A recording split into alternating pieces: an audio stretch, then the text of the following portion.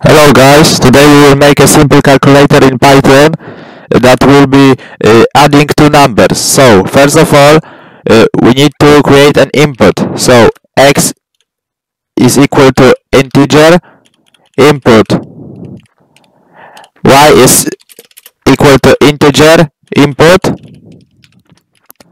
and then we can add this number. So we need to make uh, a few ifs. So first of all, if x is equal to 0 and y is equal to 0, then output will be equal to 0. Then we can we, we can just copy it a few times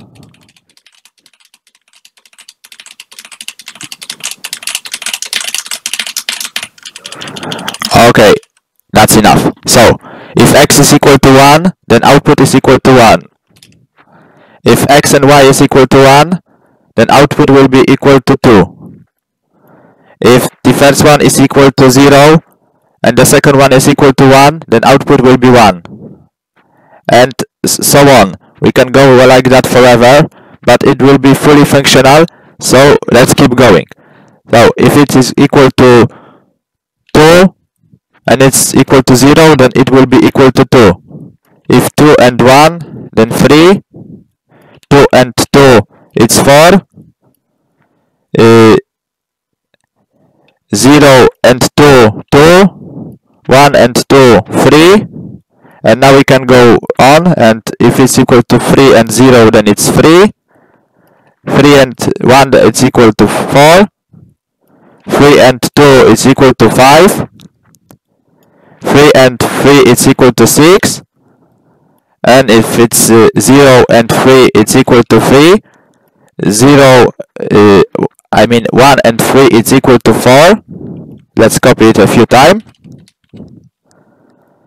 2 and 3 is equal to 4 5 and that's all. And now we can print our output.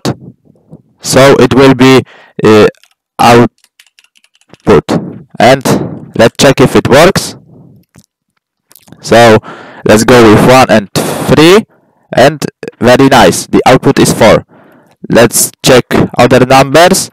And let's go with uh, 2 and 3 and it's equal to 5 it works very good. Uh, thank you for watching this video and see you next time. Bye